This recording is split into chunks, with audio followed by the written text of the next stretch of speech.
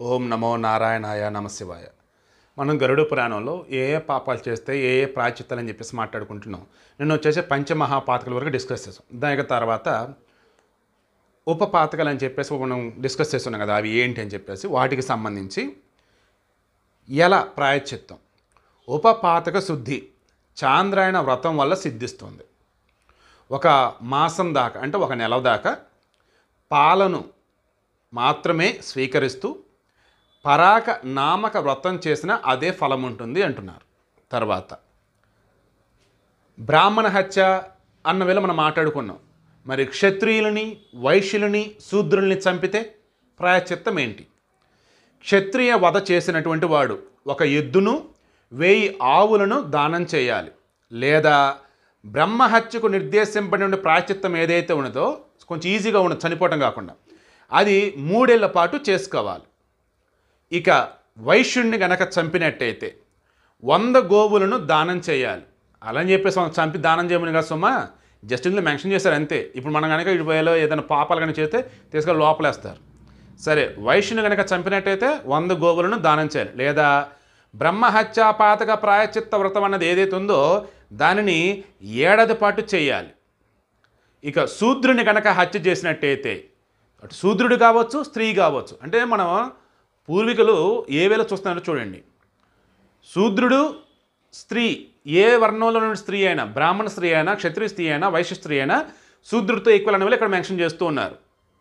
అప్పట్లో వర్ణాలకు సంబంధించి ఉన్నటువంటి డిఫరెన్షియేషన్ ఏదైతే ఉందో అది వీళ్ళు మెన్షన్ చేసుకుంటూ వచ్చున్నారు. శూద్రుడిని హత్య చేసిన వాడు కానీ స్త్రీని వధించిన వాడు కానీ బ్రహ్మహత్యాపాతక ప్రాయచిత వ్రతాన్ని ఆరు నెలల పాటైనా సరే ఆచరించాలి. లేదా సత్ప్రాప్తునికి అర్హత ఉన్నటువంటి గొప్పవాడికి మంచివాడికి పది నవత్స పయస్వని గోవులను అయినా దానం చేయాలి. సో గోవులలో శ్రేష్టమైనటువంటి ఏవైతే ఉన్నాయో అవి వాడికి దానం చేయాలి. ఎన్ని? పది.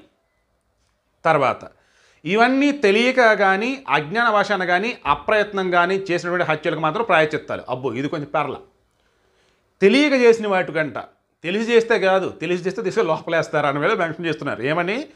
తెలియక కానీ అజ్ఞానంతో కానీ అప్రయత్నంగా కానీ చేసినట్టయితే ఈ హత్యలు వాటికి ప్రాయచిత్తాలను ఆయన అంటున్నారు. ఇక మనుషులేనా? మరి జంతువులని? ఎస్ పిల్లి ముంగిస ఉడుము కప్ప సాధారణ పశువులు.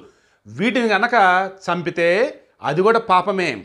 ఈ పాపము చేసిన వాడు మూడు రాత్రులు గడిచేదాకా పాలన మాత్రమే స్వీకరిస్తూ పాదకృత్య పాలనము చేయాలి. పాలన మాత్రమే స్వీకరించి మూడు రాత్రుల పాటు పాతకృత్య వ్రతం అన్నారు. అది మా ఎంత ఐడియా లేదు నాకు అది. ఓకే అది చేయాలట. ఇక ఏనుగును వధించినట్టయితే ఐదు నీల వృషభాలను ఐదు నీల వృషభాలు అంటే బులుగు రంగులటువంటి వృషభాలు ఎద్దులను విశిష్ట లక్షణం ఉన్నటువంటి ఆ ఎద్దులను సత్ప్రాప్తునికి దానం చేయాలి. ఇక చిలుకను కానీ రెండేళ్ళ వయసున్న దూడను కానీ క్రౌంచ పక్షిని కానీ వధించిన వాడు మూడేళ్ళ వయసున్న దూడను దానం చేయాలి. ఇక గాడిద మేక గొర్రె వీటిలో దేనిని చంపినా సరే వాళ్ళు ఒక ఎద్దును దానం చేయాలి. వృక్ష గుల్మ లతాదులను నరికి వేసిన అంటే మరి చెట్లు కూడా ఉంటాయి కదా పళ్ళిచ్చే చెట్లు పువ్వులు ఇచ్చే చెట్లు ఉంటాయి. మరి వాటికి కూడా ప్రాణం ఉంది కదా. సో వాటిని నరికేసినట్టయితే అతడు నూరు మార్లు గాయత్రిని జపించాలి. ఓకే? నేను ఇక్కడతో ఆపుతున్నా. రిమైనింగ్ రేపు కంటిన్యూ చేద్దాం. ఇందులో ఏం యాక్షన్ తీసుకుంటూ వచ్చారు చూడండి. చెట్టులని కాయలున్నవైనా పువ్వులున్నవైనా. తర్వాత పశుపక్షాదులని ఆ తర్వాత మనుషులని ఆ మనుషుల్లో కూడా శూద్రులైన బ్రాహ్మణులైన క్షత్రులైన వైశ్యులైన మొత్తం కూడా మెన్షన్ చేసుకుంటూ వచ్చున్నారు. ఇక రేపు రిమైనింగ్ వాటిని డిస్కస్ చేద్దాం.